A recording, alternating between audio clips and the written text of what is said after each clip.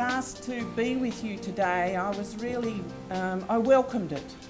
Um, I always um, want to be involved in these discussions which will continue to take us forward in this important part of women's health.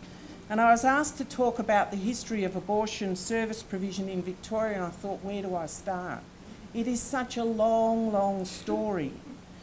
And it's one of those heavily stigmatised but really important public health issues that has sat in the shadows, breeding silence and shame. And yet, it is one of the most common medical procedures sought by women, with over 20% of Australian women aged between 16 and 59 years having had an abortion.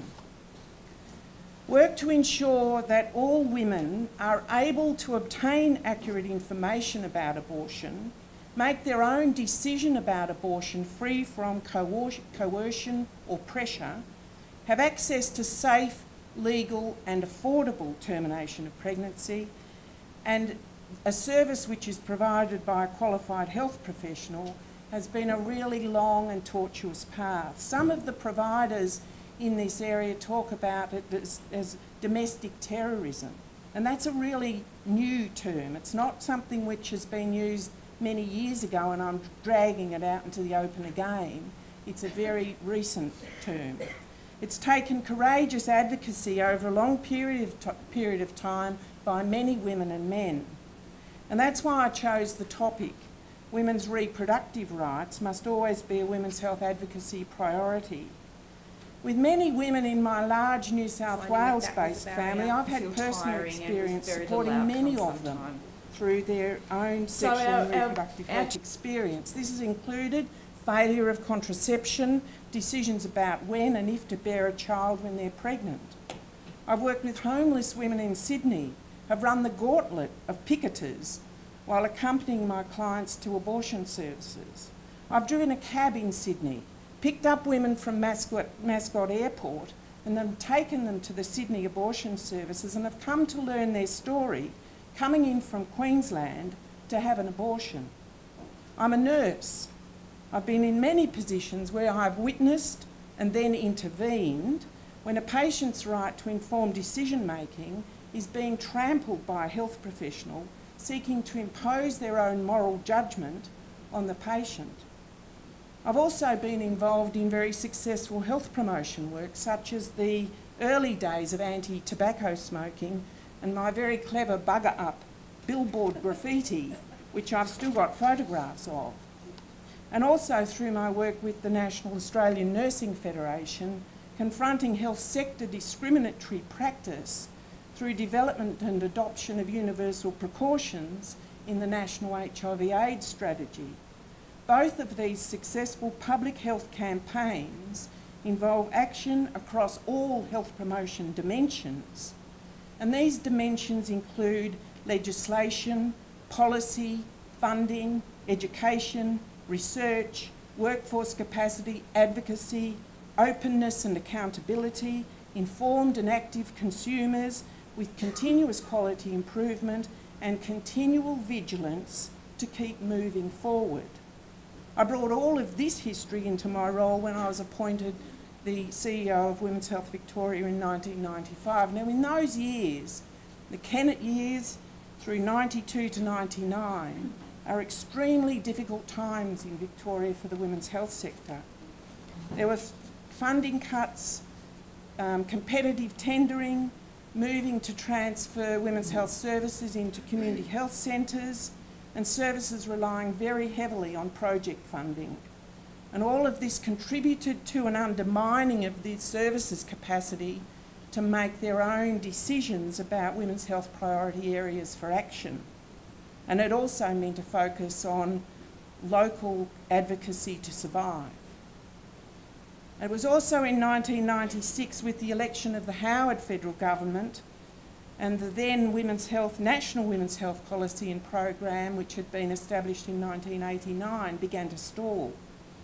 And with the passing of the 1996 legislation giving the Federal Health Minister the right to veto any application to allow medication, the medication abortion drug RU486 to be used in Australia, there was very little women's health sec sector reaction.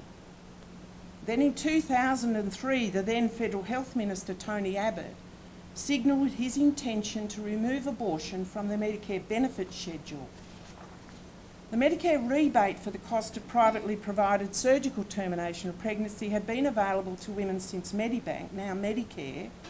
It commenced in 1975. And this alarmed me.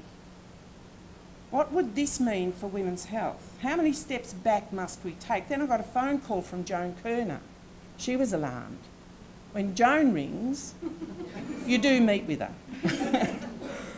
now, at the time in Victoria with the Bracks Labor government, that's 99 to 2007, sexual reproductive health was not an allowable priority for the funded women's health programs. Um, years of advocacy effort to develop a state government policy on sexual reproductive health had failed. It always ended up being about sexually transmitted infection and HIV. If there was any gender lens at all applied, women's maternity services, cervical and breast screening would be thrown in. I remember being told at the time, where I was expressing my frustration in the department, that anything else is difficult because the Department of Health structure inhibits it regarding the need to carry forward responsibility for a broader sexual reproductive health policy. Efforts to get a state women's health plan with sexual reproductive health as an integral part had also failed. So, in response to Minister Abbott's 2003 pronouncement about abortion, a small group of women in Victoria gathered. Now, I was one of those. We discussed and agreed the need to set the agenda, not be pushed or surprised into always defending the ground. The first agreement we reached amongst ourselves was to campaign to get abortion removed from the Victorian Crimes Act. Many people didn't realise it was still in there. We agreed to campaign for this for however long it took. We knew this had to be done in our own time with our own resources. We couldn't afford to put our organisations at risk. We drew together passion, wisdom, campaigning experience, and formidable networks.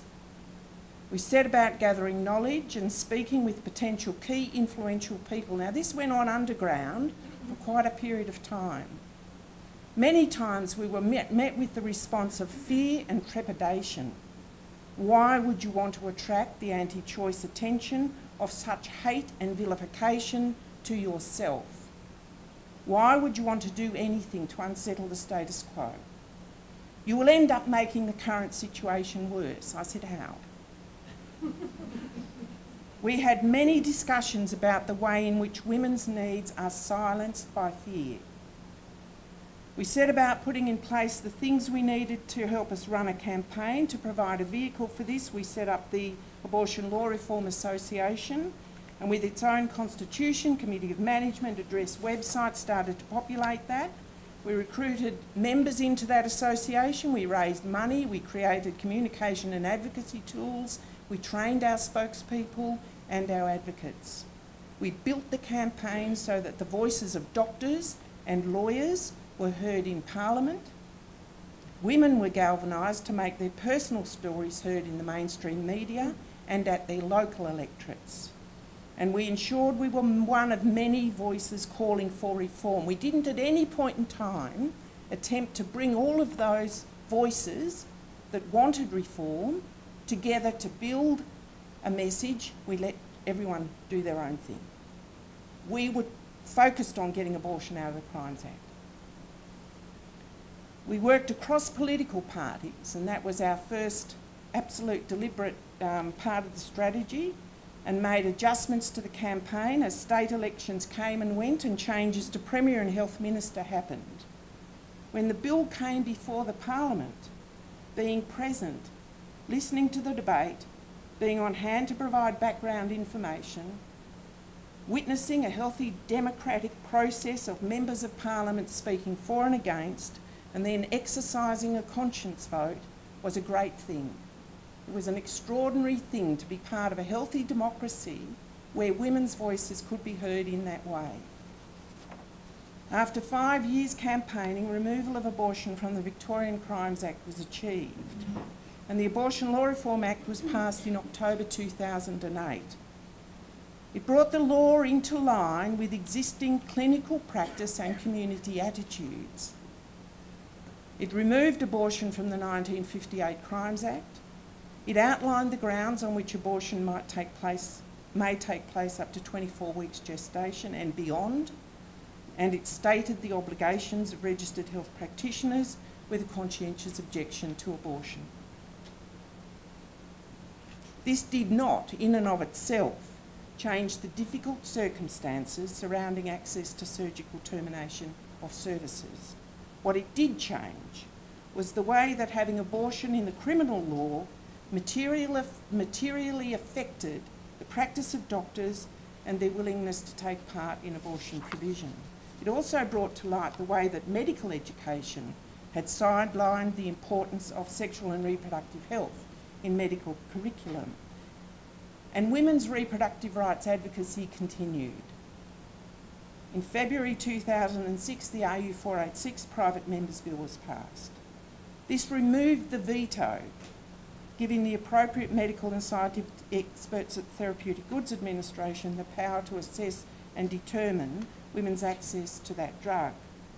And that was the result of Federal Parliament cross-party group, that is Liberal, National, Labor, women in Parliament, working together. In 2012, the Therapeutic Goods Administration approved a licence to import and distribute mifepristone to Australia, and the following year it was listed on the Pharmaceutical Benefits Scheme. This did not, in and of itself, change the difficult circumstances surrounding access to medical termination services.